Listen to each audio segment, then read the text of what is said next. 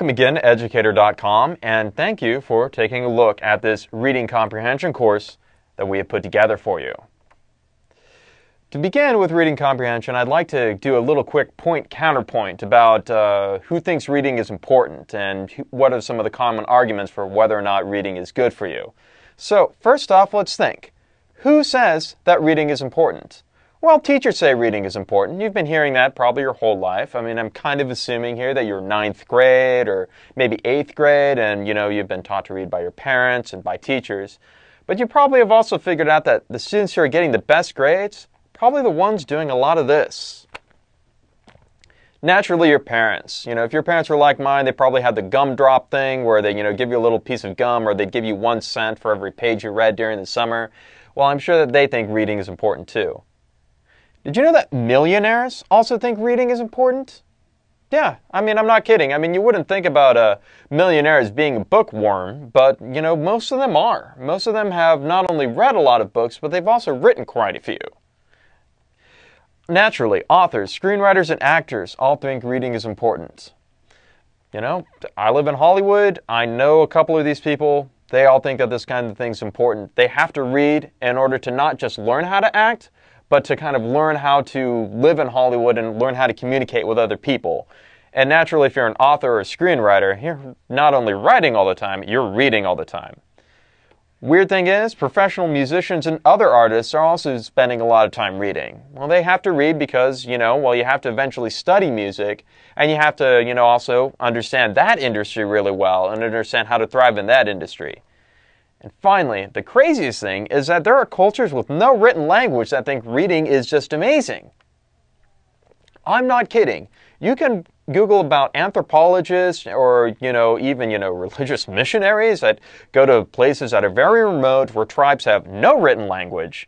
And then they see that these powerful Europeans and their, you know, cars and their vehicles and their planes come and they got this power. They got this power to write down their language and read it. As soon as these cultures figure out that somebody else can take their language and write it down for them, and it can be written, they just think that's the most amazing thing ever. So that's who thinks reading is important. Now let's think about who does not think reading is important. Okay, nobody thinks reading is not important. This is a point that I'm trying to make. I can't think of any subject on earth that's like this where everybody thinks it's important, nobody thinks it's unimportant. You'll never hear a point counterpoint about reading. So, now that we've kind of gone over about a little bit about why reading's important, let's talk about who's taking this course. So, we're kind of talking about you here.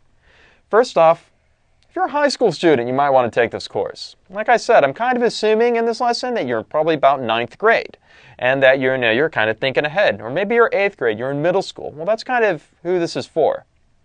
But if you're also taking the writing course at educator.com, then you should be taking the reading course too. I have never taught a course where it's just reading or it's just writing before. Usually you kind of integrate the two. So yeah, this is going to be important. You're thinking about taking some entrance exams? I mean, maybe you're thinking about an entrance exam into college, or maybe, you know, you're maybe thinking about taking an entrance exam into a preparatory high school, or maybe you're thinking about taking an entrance exam into a religious high school, or maybe even a religious middle school. Whew, those entrance exams are tough, and they got a lot of tricky things that they like to do with words to fool you. And if you take this course, you know, you'll be doing better. Maybe you, you know, you're like me in high school, or like a lot of other people high school, you're thinking, I'm bored here and I don't want to do this, I don't really care. Did you know you can graduate high school early?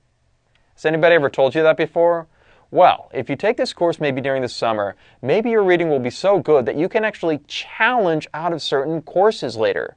Now, I can't guarantee that because I don't know what your high school is like, but I do know that if you're really, really motivated in the summers and you just want to get out of high school quickly, you can do it. I mean, you talk to your guidance counselor about that. Like, what can I do to get out of high school one year early or even just one semester early? There are ways to do that, and this course will probably get you going on that.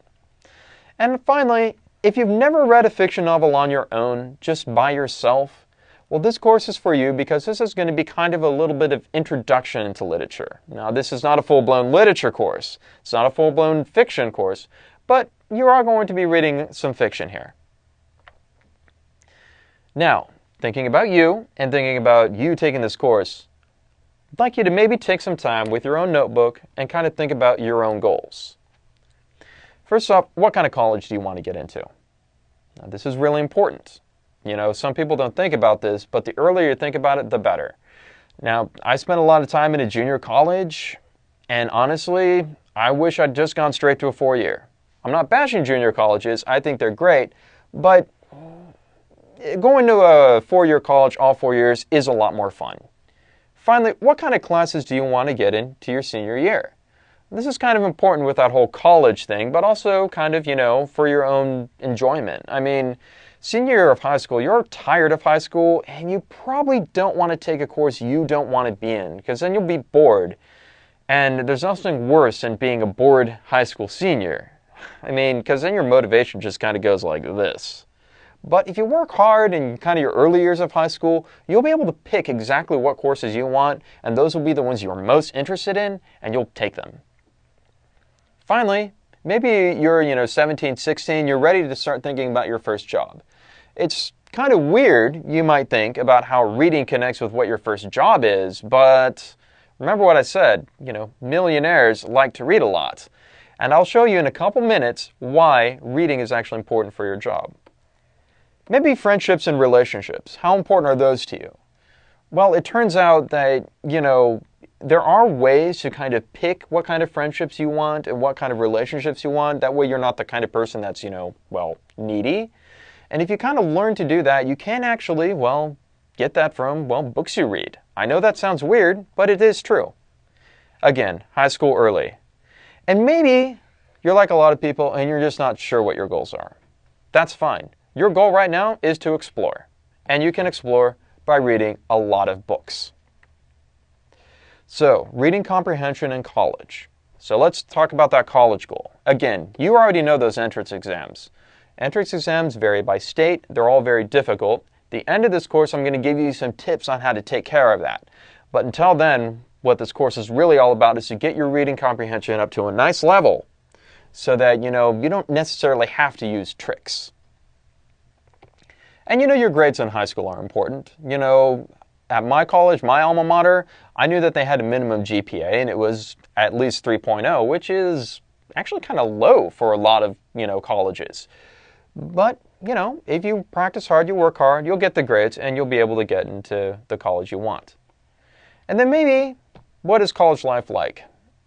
I mean, it's a lot different than high school. It's one of the most exciting places you'll be. It takes a lot of preparation, though, to get used to it. There's a lot of skills that you're going to have to learn. Maybe you're thinking about reading in your first job. Well, first off, I've never been the interviewer, but I've worked with people who are. And guess what? You're judged by how you speak. This sounds crazy, but you are. It's not just how you dress when you go to work. It's not just your skills and your resume. You're actually judged by how you speak. And how much reading you do will affect the kind of language that you use in an interview. Let me tell you this that boss interviewing you, he is as literate as your high school English teacher. What I mean is that he is as well read as that English teacher. So if you really want that job, you want to get in, you need to talk like him and speak like him or her because they've been doing a lot of reading. Also, some jobs require a lot more reading than others. It's not uncommon for jobs like sales or jobs like management for people to get together and then say, hey, we're all going to get together and we're all going to read this book. This book by Stephen Covey, this book on management, this book on sales, this book on charisma. And we're all going to have a reading group and we're all going to get together and read this. That's pretty intense, you know? Or maybe you're going to go in the IT world. Whew. Man, there is a lot of reading in the IT world and a lot of technical languages. You have to read books that are like this thick, and you have to keep on reading them. So don't be afraid to read for your career. I know I keep saying this, but it's true. Millionaires read one nonfiction book a month. How many have you read? Now, there's another big important reading and that's reading for democratic ideals. You've probably gotten out of eighth grade civics by now, so you probably understand that, hey, we live in a democratic government where the people have the right to rule. Well, I'm going to show you by this wonderful quote what democracy is not. Anti intellectualism has a constant thread winding its way through our political and cultural life, nurtured by the false notion that democracy means my ignorance is as good as your knowledge. I was said by science fiction author Isaac Asimov. He was a very, very prolific writer. He didn't just write sci fi. But this thing right here, my ignorance is just as good as your knowledge, is what a lot of people think democracy is.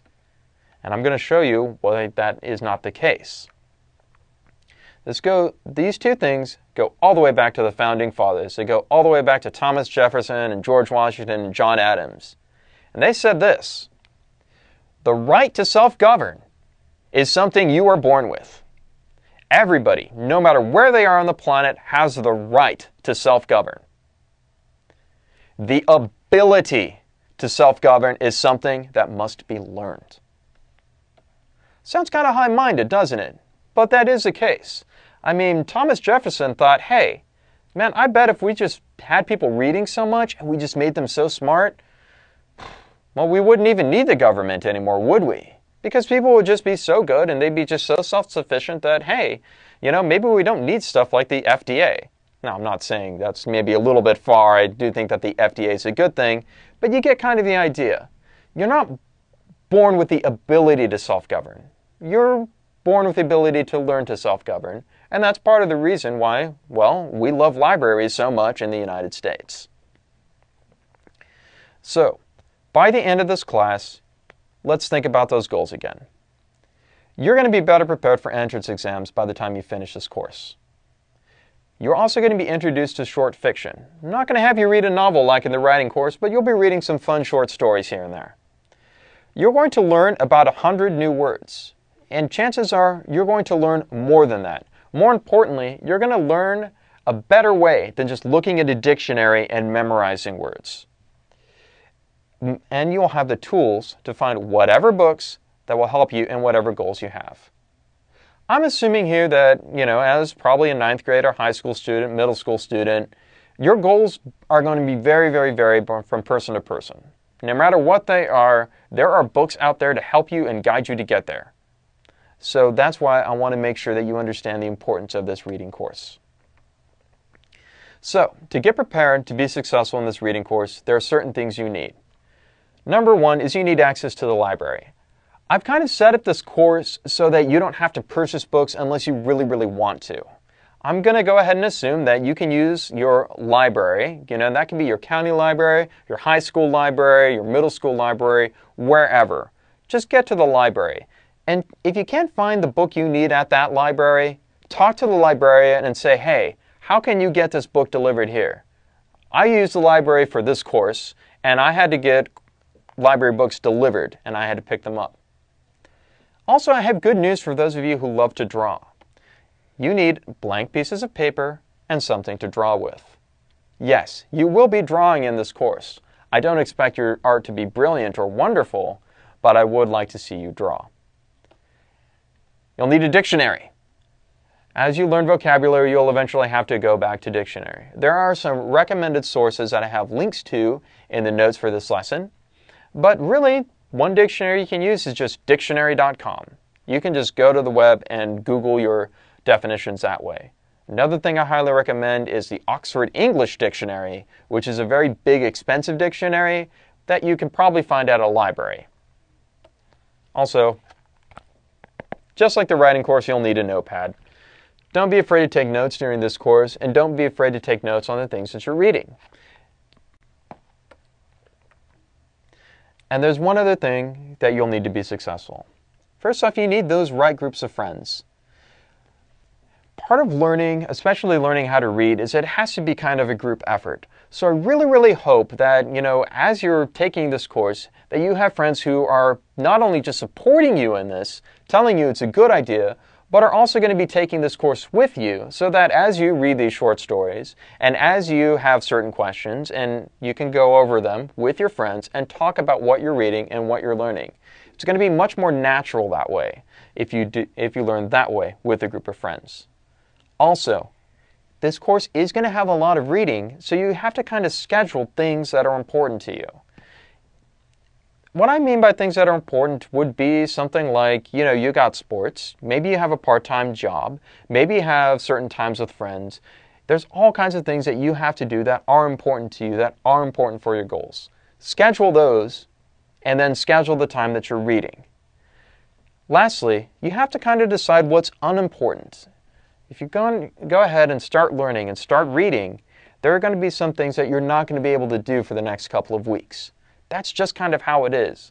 So figure out what's kind of distracting you and figure out what's not fruitful, and we're going to go over that in the next lesson and let that be unimportant to you.